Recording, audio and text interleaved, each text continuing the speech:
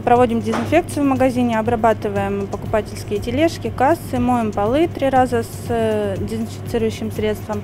Также контролируем наличие масок в магазине, выдаем сотрудникам, покупателям. проверили наличие средств индивидуальной защиты, товарные запасы. В общем, у администрации претензий к данному объекту нету.